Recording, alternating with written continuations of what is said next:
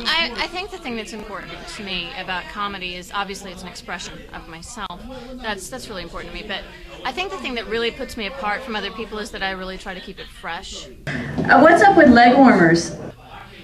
I've been uh, doing the open mics for about 12 years. Yeah. Oh shit. All my stuff is original, you know what I'm saying? You ain't catching no black man bungee jumping. I have a I have a saying. I s um, if it's not new, it's poo.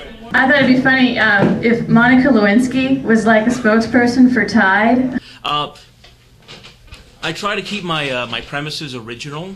What's the deal with um with stupid people? Sometimes, sometimes I just feel like the world ain't ready for my stuff. Why why y'all tripping? Why, why y'all tripping?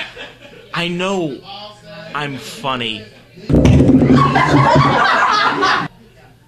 Sometimes the audience just doesn't know that too. Sorry, sorry.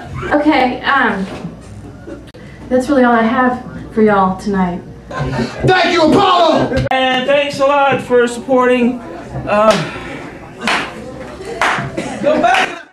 New or poo, hard hitting but funny. Those are those are really my mantras in, in comedy.